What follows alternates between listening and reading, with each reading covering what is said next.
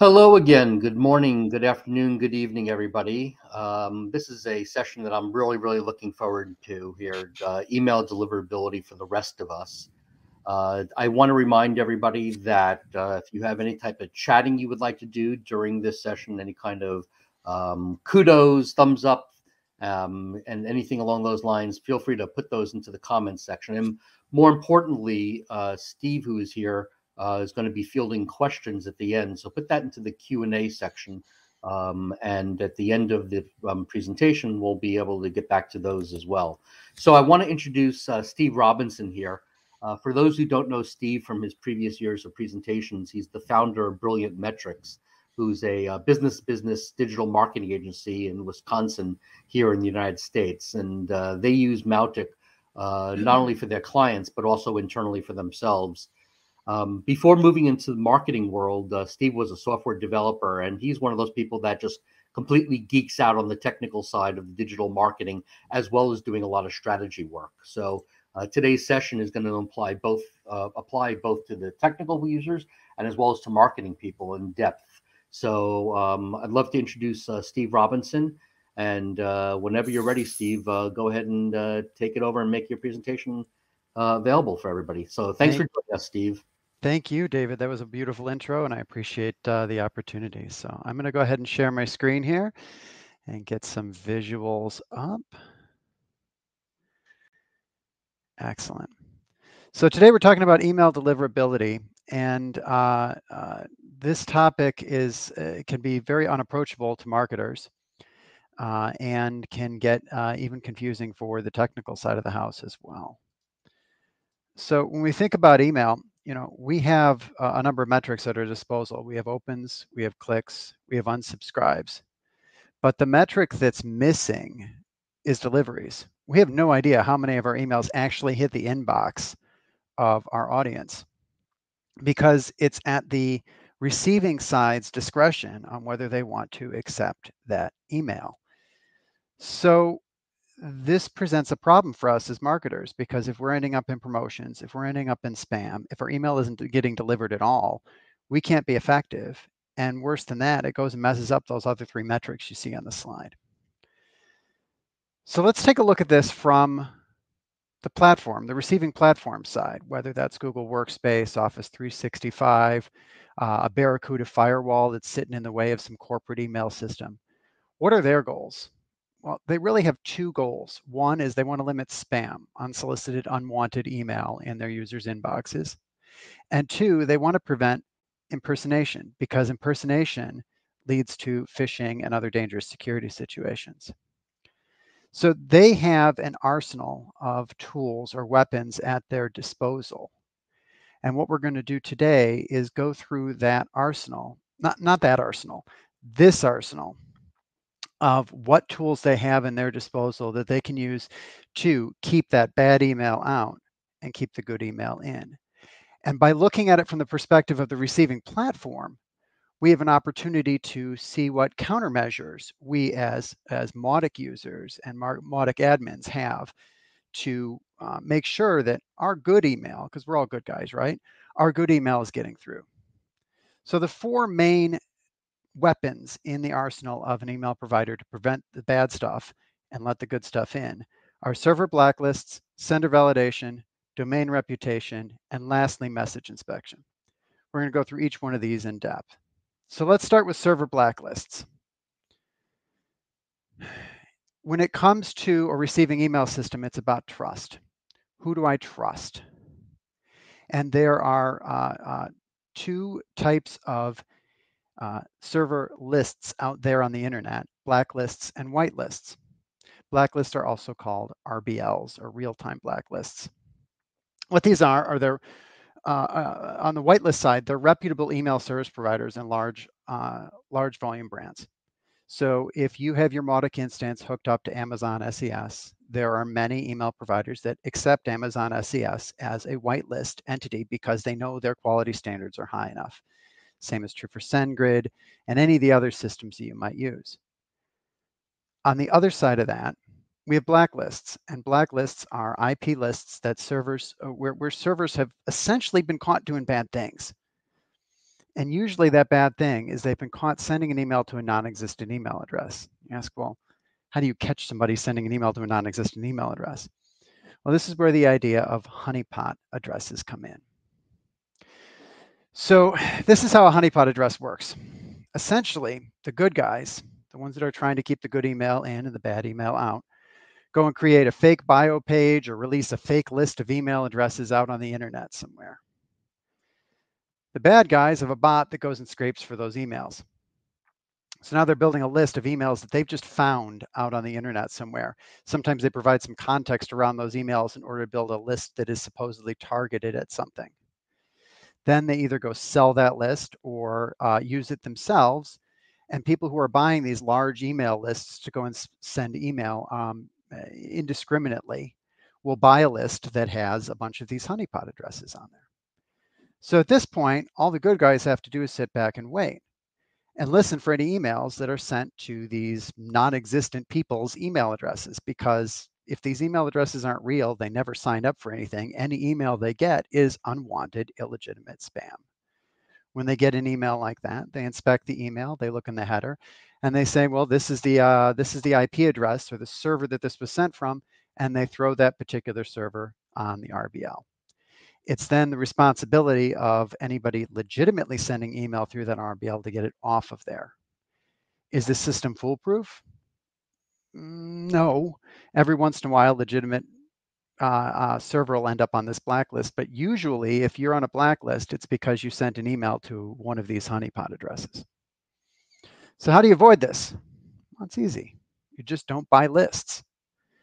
Uh, there are places for legitimate email lists if you really if you're going to go down that road and certainly list quality plays a role into this but my suggestion is operate on an opt-in in an opt-in mode whenever possible and uh, don't use uh, automated systems you rely on for deliverability to send uh, cold or unwanted email.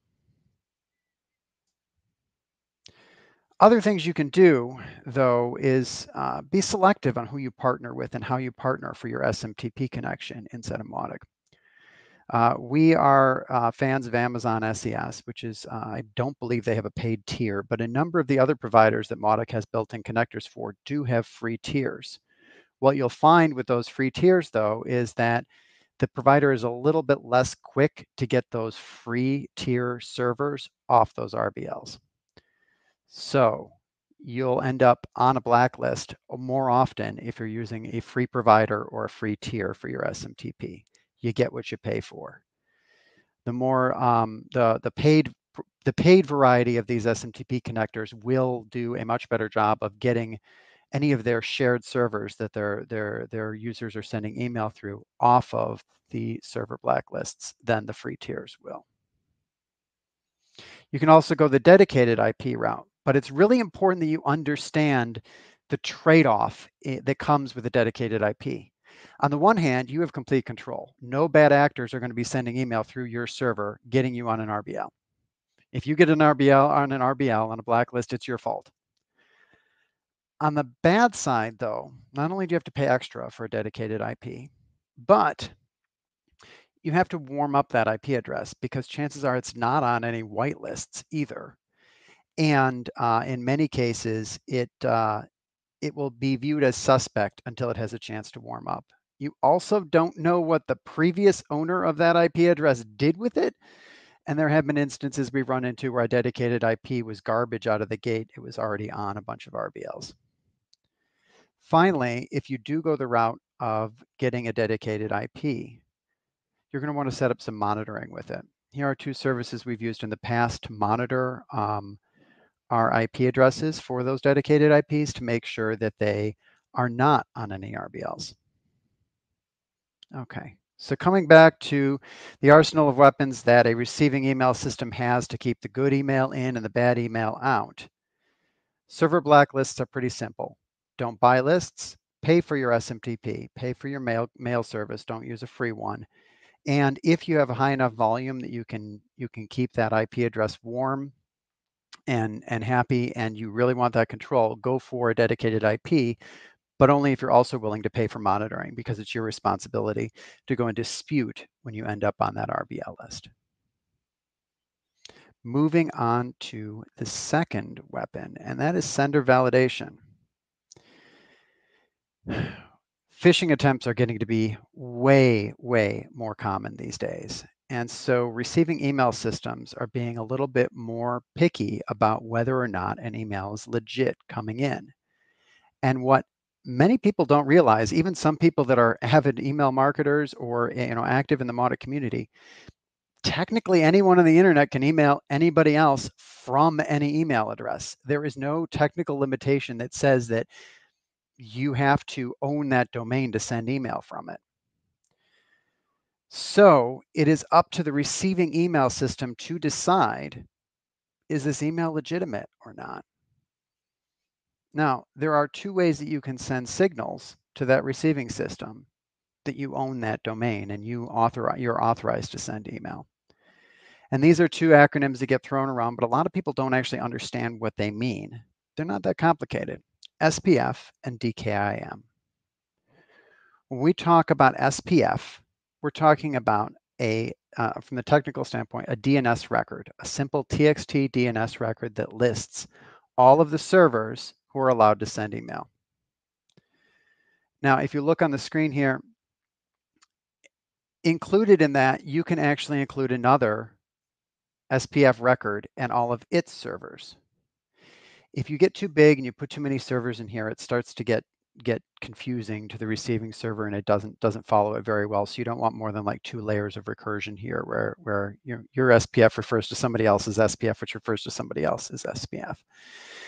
Um, but uh, it really is just a list of who can send email. And then the last part right here says what to do if that email sending server isn't on the list.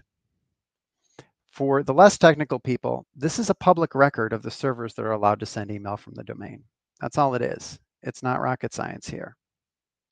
Now, SPF is great, but technically it can be spoofed. It can be circumvented. It's not easy, but it can be circumvented. And so a while back, uh, DKIM was introduced as a much better, more secure way of ensuring that email is authorized. The way DKIM works is it uses cryptography. So as the uh, marketer who owns the domain, you go and publish uh, uh, a key that is unique and it is a cryptographic key that can unlock essentially a puzzle inside every single message. That puzzle sits inside the email header. So every email that comes from the domain should have a DKIM key in the header or a DKIM uh, uh, challenge in the header. And if this key can unlock it, then the email is legitimate uh, a hacker is unable to create that same uh, uh, puzzle inside of a header if they want to to fake the domain. So their emails will fail. This is the structure of a DKIM record. Um, and uh, again, it is nothing more than a public DNS record. The idea here, if you control the DNS for your domain, you control the domain and you can decide who can send email from it. So how do you get this set up? Well, I would say that you're probably going to want to reference the support documents from your email provider. I could go through the instructions today, but it's going to be different on where you access what the what needs to be in that SPF record and what needs to be in that DKIM record for every provider out there. Most of the providers have really great tutorials because their users stumble on this every single day. You can also enlist the support or services from your email provider. So if you're more a Mautic user and less a Mautic admin, less on the geeky side of things, many of these, uh, particularly the top top tier ones like SendGrid and some of the other ones that are a little bit more expensive, again, you get what you pay for. They will help. Their support team will help make sure that your DKIM and SPF are set up correctly. And finally, if you're a marketer but you've got an IT department, pawn it off on them. Now, that's great. We have DKIM and SPF records set up. How do I know they're right? Well, like everything else, you're going to want to monitor this. The easiest way to monitor it, monitor it is through a system called DMARC. So again, we've got three acronyms here. SPF and DKIM are the records that you post into your DNS. DMARC is the technology or the standard for monitoring. What DMARC is, is it's nothing more than a set of instructions that you, again, publicly post through DNS that tell receiving servers how to handle email if it either does or doesn't check out with SPF and, and DKIM. And um, once you have that set up, um, the the reporting will start coming in as email is delivered. Now, you don't want that reporting going directly into an email inbox because that's how it would normally be received. You want a layer in front of that. You want a provider in front of that to go receive all that feedback on whether your emails are are authorized or unauthorized. And uh, the two vendors that we've used in the past are uh, a free service from Postmark app. This was recently acquired by Active Campaign, but uh, it's still free, and they seem they they they have said they intend to continue to honor it as a free service. They also have a paid service that we've used as well. That's excellent. And then Power DMARC. Power also has a lot of tutorials and reference out there for how to get this stuff set up correctly. One other benefit of doing this is that these reports will also include any email that's being sent from your domain that doesn't pass. So that gives you two really important pieces of information. One, what other email systems are sending email on your domain. Because email that fails to pass DMARC will hurt your domain reputation. We'll talk about that in a minute. So what other systems need to have DKIM and SPF set up in order to improve your deliverability? And two, are there any bad actors sending email on your domain without your knowledge? We recently had a client that, for whatever reason, some group decided that their domain was going to be their go-to for sending spam. And they sent massive amounts of spam from our client's domain. We were able to use these tools to narrow down exactly who it was. And then the, the last thing that you should probably know is there's actually a way within the DMARC specification to go and ratchet down what gets through. So you can say if it doesn't pass SPF and DKIM, um, don't let it through. Now you need to make sure everything is everything's all tight and tidied up and be monitoring these reports before you do that. But it's a sort of a nuclear button to go and prevent those bad actors sending email on your domain from tanking your domain reputation, which we'll talk about in a moment. So the second weapon in email providers' arsenals are sender validation. And the key here is get your DKIM and SPF straight. Uh, great documentation out there on whoever it is you're paying to deliver your email and then set up DMARC monitoring because without it, you don't know when something goes sideways. The next thing I want to talk about is the one that's probably least understood when it comes to deliverability, and that is domain reputation or sender rating. There are hidden metrics behind the scenes that you can't see. And so let's just hypothetically talk through a scenario here where there is a domain spamstock.com and spamstock.com likes to send emails about penny stocks that you need to buy this week. Obviously, nobody's asking for this email. There's also Mautic.org, which only sends really relevant, very valuable community information about the Mautic ecosystem and community. Now, Google has been receiving emails from these two through the, for their various users for a while now, and they have given spamstock.com a hypothetical rating of 3.6, and they've given Mautic.org a hypothetical rating of 9.8. Office 365 has similar ratings, but different ratings behind the scenes for these two domains, as does Barracuda, one of the major firewalls on the corporate side. All three of these entities have some feel for how good or bad these two domains are. And it's different because it's based on different algorithms and different scoring. And most of that scoring is top secret. So included in the factors that they use to determine the sender rating for a given domain, things might include uh, a bounce rate, how much email that is sent by mautic.org bounces versus how much email that is sent by spamstock.com bounces. What's the open rate? Remember, these people operate uh, e email uh, web clients, so they know exactly how many people are opening messages, or just sending them right to the right to, right to the trash before they even open them. So if emails are getting opened, that's a signal that it's good quality content. And uh, the same is true for unsubscribe. If people are clicking unsubscribe, unsubscribe, unsubscribe in all these emails, well, that's a good signal to these email providers that stuff coming from that domain is not wanted. Click-through rate is another good indicator. If people are clicking on these emails, then that means that they're valuable content. If they're reporting spam, that means it's not valuable content. And then finally, if it's uh, a platform like Google where you have a promotions tab, if more than one user moves that content to a promotions tab, that's a signal to Google that email from that domain belongs in the promotions tab.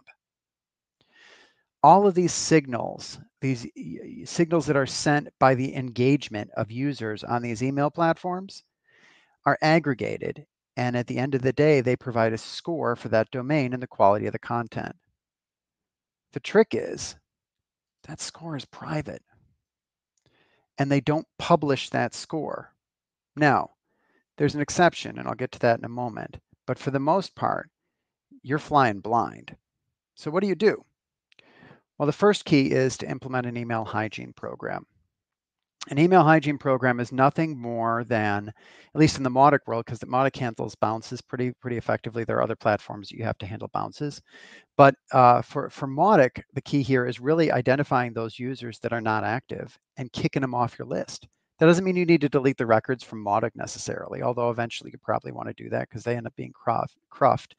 But you at least want to get them off your list.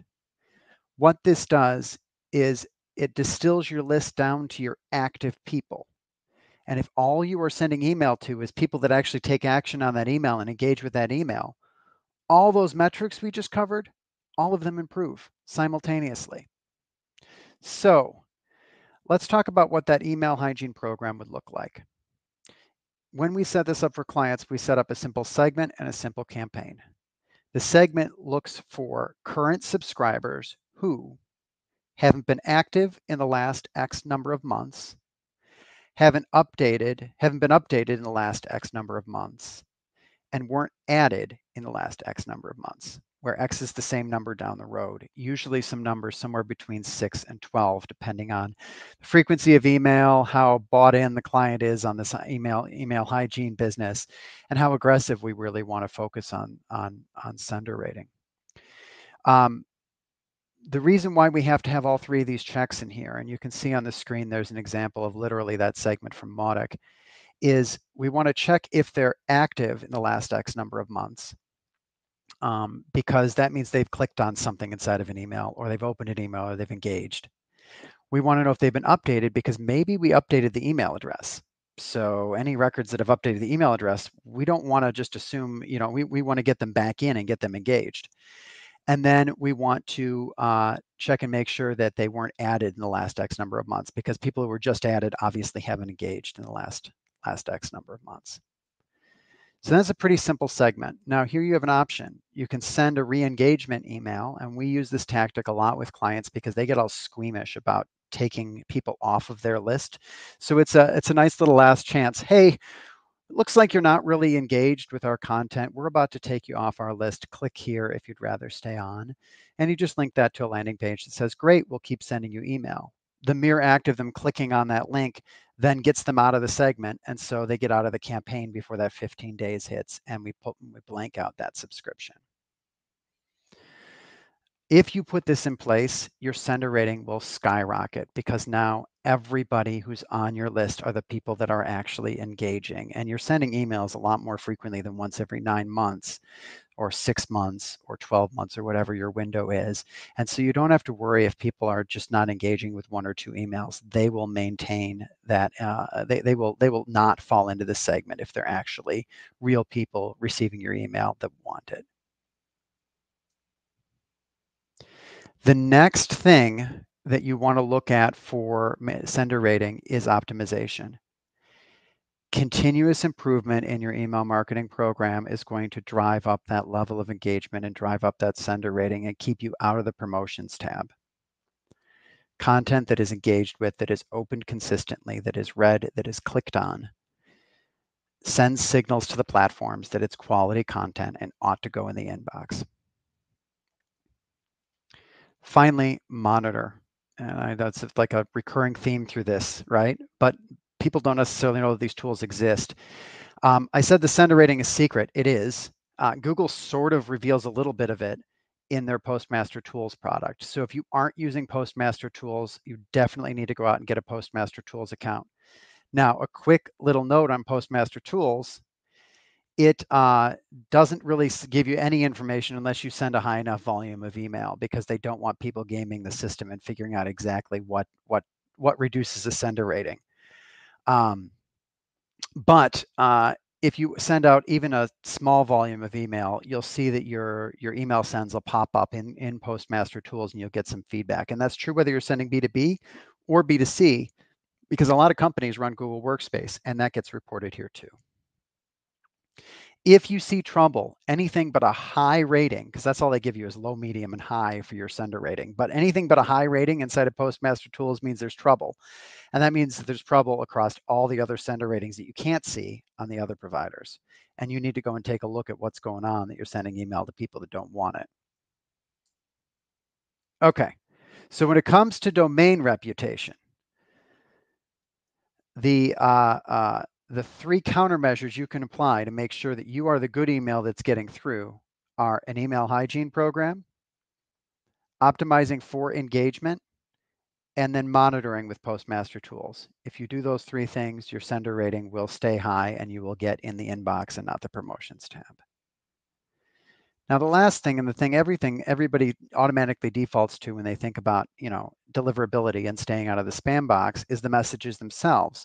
But strangely enough, that's actually the least of your concerns because a the rules there here are easily googleable easily easy to google. There's tons of people who've written about this stuff in the past and they're not that hard to follow. So when it comes to content you know a lot of receiving systems put some sort of a bayesian, fil- bayesian filter behind the scenes which is a fancy way of saying they keep score on how many of these uh, trip lines you've tripped over right? And again there's tons of content out there on how to not not trip on this stuff but basically include more text than images in your email so they can feel confident in their ability to scan it.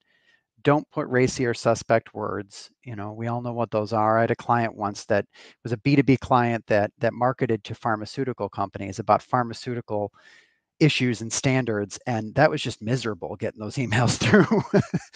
Um, don't you know avoid over punctuating the subject line and and the the most important one is include an unsubscribe link and a physical address in your emails. A lot of these providers are US based, so they're really looking for those two items to, for compliance with CAN spam. And another little fact you might not know is that if you send email through a platform like Amazon SES or SendGrid, there is a bulk tag that appears in the header of the email that you can't remove that tells that receiving system, this is bulk email, look for an unsubscribe link. And so if they get that bulk tag in the header of the email, which is behind the scenes, and don't see the unsubscribe link, guess where your email's going? Spam folder. So always include that unsubscribe unsubscribe link. You don't need to call attention to it. Just make sure that it's readable and on the on the on the email. And of course, with all things, there's a way to monitor or there's an app for that. In this case, most of the tools that'll tell you whether or not your emails are presenting correctly, Litmus and Email on Acid being our favorites, will also tell you whether or not that email is probably going to trip some of the major spam filters. So if in doubt, test. Um, it can't hurt every to test every once in a while and just make sure that your email is good. Okay, let's review before we turn this over to questions. I've been talking a little fast, so you get a little extra time for questions. So make sure you're popping those in the Q&A here. The first weapon of choice of email providers to prevent the bad actors from getting in are server blacklists. So the solution to this is simple. Don't buy lists, or at least don't buy cheap lists. Pay for SMTP. Um, so pay for your provider. Don't use one of the free ones. They, they end up on the RBLs often. Uh, and if you're sending a high volume, consider a dedicated IP, but make sure you get monitoring. Sender validation, DKIM and SPF records are not optional, they are mandatory. Get both of them. The details of how to set those up vary from platform to platform, so I don't want to get in, I couldn't get into the details here, but your email provider has great tutorials, and if the tutorials don't work for you, they'll often help you through their support channels to get this set up right. Always set up DMARC to go and monitor and make sure you got it right. On the domain reputation, an email hygiene program will do will work wonders for improving your sender rating and getting you to the inbox instead of the promotions tab or spam folder. Uh, in addition to that, optimize for engagement. The better experience you create, the more likely you're going to be in the inbox. And then finally, monitor, monitor, monitor, Postmaster Tools being your friend here. And on message inspection, be smart. You can Google around, watch some other YouTube videos, go and figure out exactly how to how to not trip a, a spam filter, um, but then test if necessary, especially if you're working in one of those edge industries where it's hard to get the email just right so it'll go through. And with that, I'm going to hand things over for questions here. David, do we have any questions? Um, that that was incredible, by the way. Is um, I would like if you can do two things. One of which, can you drop that information that you have on the screen into the chat, uh, sure. so people actually have your uh, LinkedIn as well as the uh, the slides. Uh, slides were in- incredible and after you do that, Steve, if you can go back to that arsenal um, slide, so we can leave that up during the questions there, because I think that uh, people need to try to capture this and digest it a little bit more. Uh, it, it's such a bulk of so much information, and the slides were absolutely fantastic. So hopefully we can leave it here for just a little while while you do that there. Um, so we do have some questions. Uh, um, before we move on to Robin's question, I have a um, what maybe a simple one.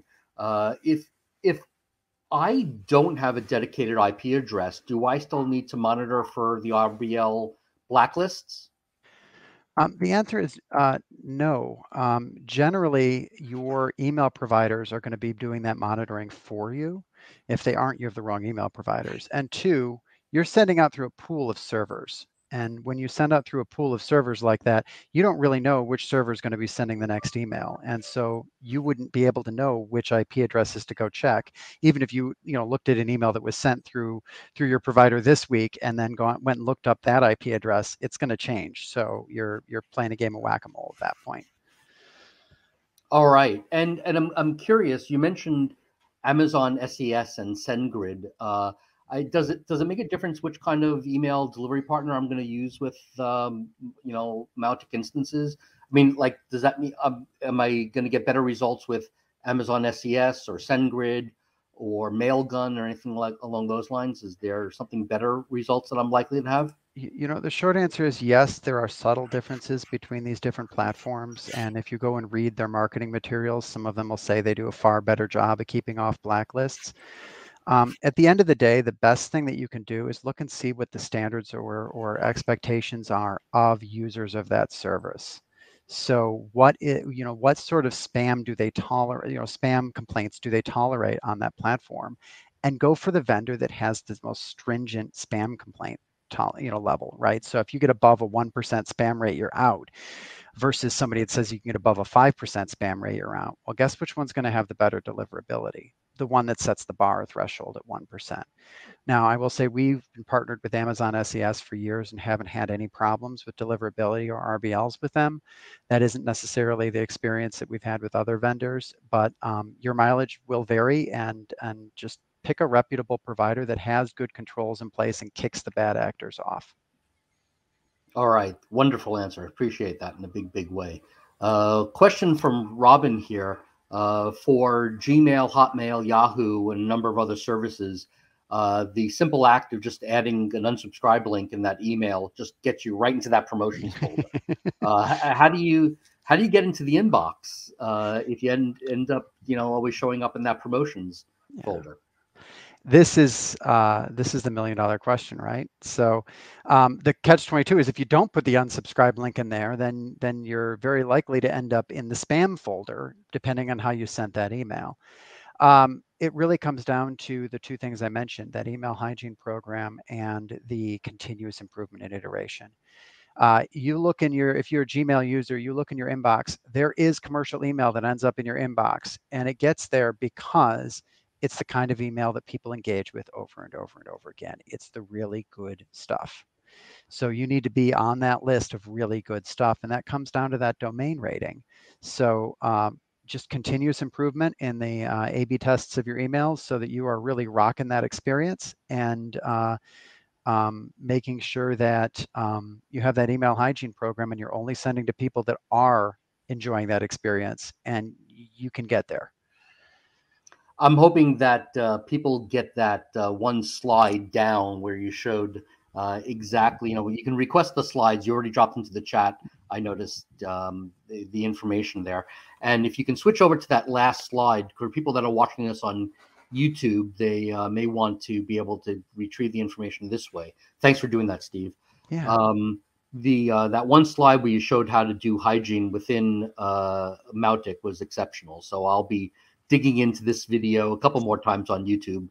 Uh, there's a, a, question that comes up from Julio, which is apart from the Google Postmaster, you know, specifically for the Gmail accounts, is there any other tool that you can recommend or know of for checking other domain results?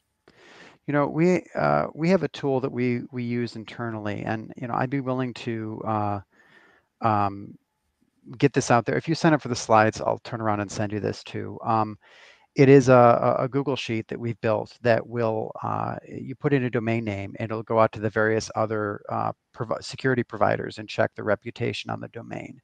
Now, if a domain has a poor sender rating, sometimes it'll pop on those other security tools as well. Sometimes it won't.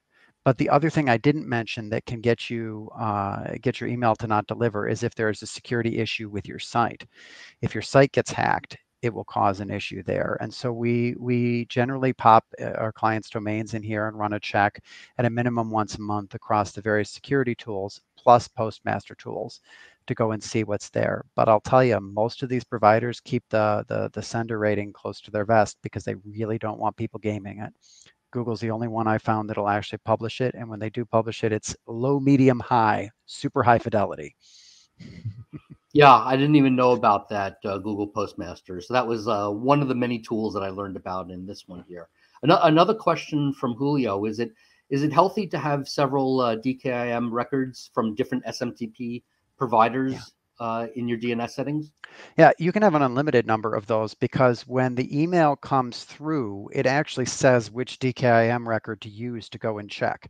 So as many SMTP providers, as many different ways that you're sending email, you want to set up DKIM records. And the exact details of that DKIM record is going to vary from vendor to vendor to vendor. So um, if you and that you want that for your corporate email as well because one of those other signals on that sender rating that should have been on that slide that wasn't is um, what percentage of your email qualifies as SPF and DKIM. If you if you are are really on the ball and have every system that sends email on your behalf having a proper SPF and DKIM configuration, uh, that sends a good signal to these providers about your domain, and your sender rating improves. So uh, yes, this, you want you want it everywhere you can get it. I guess uh, something that is related to that is also a question from David here. Uh, if you're using an email server, uh, you know your own email server, are there any things you can do to assure um, deliverability? Um, if you are using your own email server, and this is a this is like 301 level stuff right so you you you, you if you if you literally have a, a an smtp server you you maintain that is your relay for Mautic um, uh, security security security security because there are lots of people out scanning the internet looking for those smtp servers and working very hard to get in them to go and send spam and it just takes one hack and now you're on every rbl out there so if you're sending through your own server, security is key, and then you're back in the same place with the dedicated IP, and that is with you know MX or with your um, uh, you're going to monitor for RBLs. Uh, and you're going to want to take some time to warm up that IP address and, and get the internet used to receiving email from there because you have a you have a double whammy there. Not only are you sending through um, uh, a new server, right? That maybe maybe people aren't familiar with, but that that server's never really sent email before. That IP address has never really sent email before, and so receiving systems are going to be a little wary of that at first, and you're going to want to warm up that IP and and and get it get it on some some neutral lists of IPs that are known to be uh, okay for sending email. Great, great. Uh, another one that comes up is uh, can you tell us something about uh, BMI, uh, BIMI, the uh, brand indicators for message identification, which is the new email standard that's emerging pretty quickly?